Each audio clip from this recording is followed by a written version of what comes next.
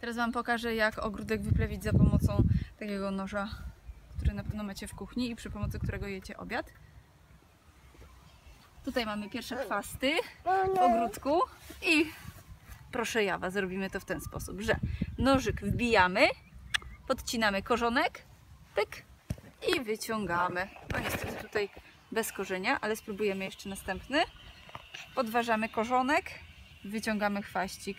No i tak ze wszystkim. Jeśli zastanawialiście się kiedyś, czy po takim plewieniu potrzebny jest minikir, to patrzcie. Tak, niestety jest potrzebny.